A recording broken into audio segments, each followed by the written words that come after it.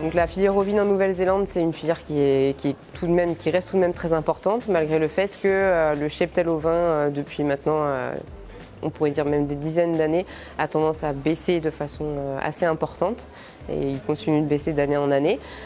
par ailleurs, ils réussissent tout de même, les Néo-Zélandais, à avoir une production qui est relativement stable, même si elle baisse légèrement parce que pour parer cette diminution du cheptel au vin, euh, ils ont augmenté la productivité des animaux. Donc en fait, les animaux sont en moyenne plus lourds et ça permet d'obtenir une production de viande ovine qui est presque stable alors que le cheptel s'effondre.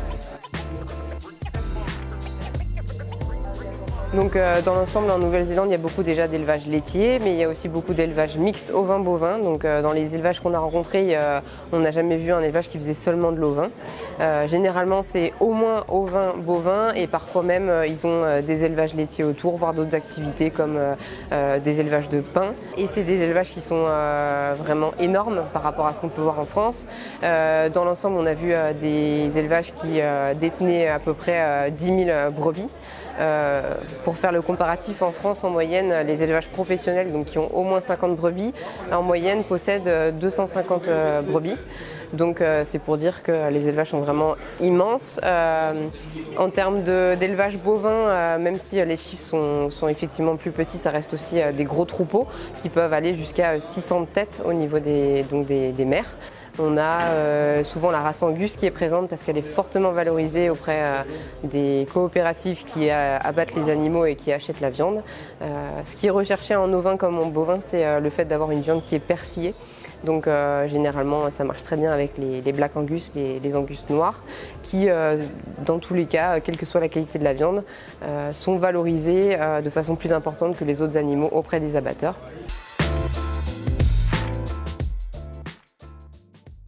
Dans beaucoup de pays, malheureusement, euh, la transmission dans le secteur agricole et notamment dans l'élevage euh, pose problème aussi en Nouvelle-Zélande.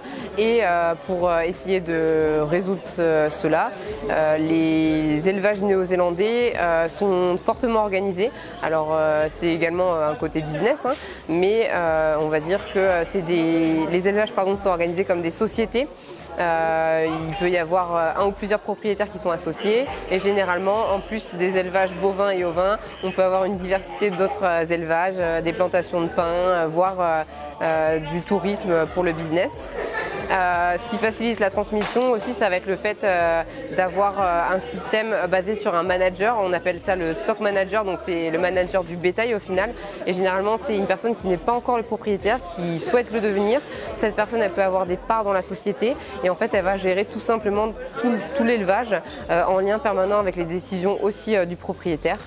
donc voilà, c'est aussi pour assurer la transmission, sachant que beaucoup de propriétaires de ces élevages ovins bovins qu'on a vus étaient des personnes plutôt âgés et donc euh, avec des, stock managers euh, qui comptent dans quelques années reprendre ces exploitations.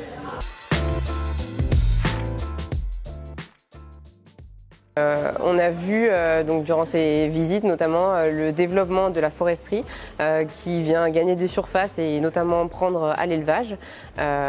bon, ça rajoute un facteur de compétitivité, sachant qu'au niveau des élevages bovins et ovins allaitants, on avait déjà l'augmentation du nombre de vaches laitières euh, en Nouvelle-Zélande qui a fait baisser ces cheptels-là et la foresterie est venue euh, par-dessus euh, se rajouter parce que en fait depuis maintenant quelques années tout de même, la Nouvelle-Zélande, je crois que c'était en 2008 au début, la Nouvelle-Zélande a mis en place des crédits carbone qui sont en fait des taxations de carbone pour les entreprises ou des crédits, donc le fait que les, propriétaires de terres, notamment de pins, donc des terres qui captent le carbone, puissent gagner de l'argent en fait grâce à cette captation de carbone. Et donc en fait on a vu dans les différents élevages euh, visités, euh, pas mal d'éleveurs ou de propriétaires qui ont euh, des dizaines d'hectares de pins.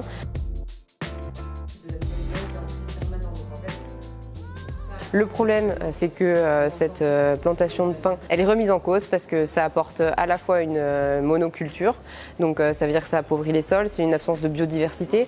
En plus, généralement, ces pins, ce sont des pins qui grandissent très vite.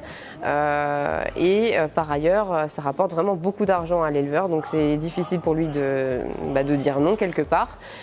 mais c'est également désavantageux pour les éleveurs dans la mesure où ça fait une spéculation pardon, très importante sur les terres agricoles.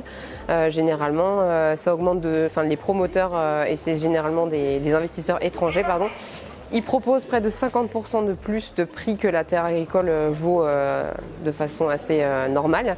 Et de fait, les éleveurs ou les agriculteurs en général ne peuvent pas s'aligner.